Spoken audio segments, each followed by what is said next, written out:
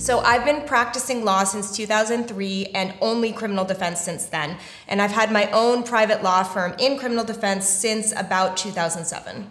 I do indigent defense work as well as private defense work, and I'm equally split between federal criminal defense and state criminal defense. I have a reputation within the defense community for being a specialist in two really key areas, and they're quite different. One is the very sensitive kind of sex crimes uh, rape, child molestation, child pornography. And as a female lawyer, I get a lot of those cases because people want a female attorney for those kinds of crimes. Then on the other hand, I also have a reputation for a lot of federal work, which, you know, that can run the gambit in terms of what crimes can be federal.